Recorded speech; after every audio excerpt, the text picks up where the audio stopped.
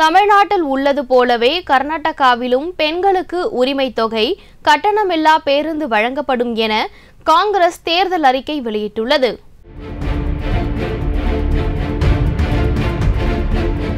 கர்நாடகாவில் மே மாதம் பத்தாம் தேதி சட்டமன்ற தேர்தல் நடைபெற உள்ளது ஆட்சியில் இருக்கும் பாஜக எதிர்க்கட்சியான காங்கிரஸ் மற்றும் மத சார்பற்ற ஜனதா தளம் ஆகிய கட்சிகள் தீவிர பரப்புரையில் ஈடுபட்டுள்ளதால் அங்கு தேர்தல் களம் சூடுபிடித்துள்ளது. ஆம் ஆத்மி கட்சியும் இருநூற்று இருபத்தி நான்கு தொகுதிகளுக்கும் வேட்பாளர்களை அறிவித்து கர்நாடகா தேர்தல் களத்தில் குதித்துள்ளது.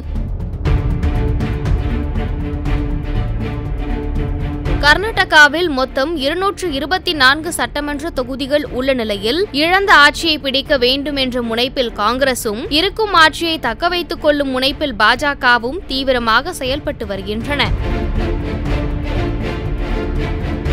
கடந்த இருபத்தி எட்டாம் தேதி பிரதமர் மோடி கர்நாடகாவில் உள்ள வாக்குச்சாவடிகளில் பணியாற்றும் பாஜகவை சேர்ந்த வாக்குச்சாவடி முகவர்களுடன் காணொலி வாயிலாக உரையாடினார். அப்போது அவர் இலவசமாக பொருட்கள் வழங்கும் கலாச்சாரத்தை ஒழிக்க வேண்டும் என்று தெரிவித்திருந்த நிலையில் நேற்று பாஜக தனது தேர்தல் அறிக்கையை வெளியிட்டது.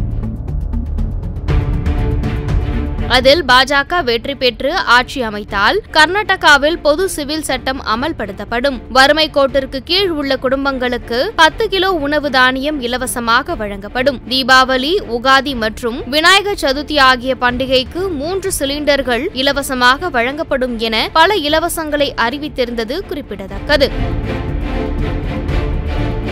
இந்நிலையில் இன்று காங்கிரஸ் கட்சி தனது தேர்தல் அறிக்கையை வெளியிட்டுள்ளது. அதில் காங்கிரஸ் தேர்தலில் வெற்றி பெற்று ஆட்சி அமைத்தால் வீடுகளுக்கு இருநூறு யூனிட் மின்சாரம் இலவசமாக வழங்கப்படும் என்றும் குடும்ப தலைவிகளுக்கு மாதம் இரண்டாயிரம் ரூபாய் உரிமை தொகை வழங்கப்படும் எனவும் தெரிவித்துள்ளது.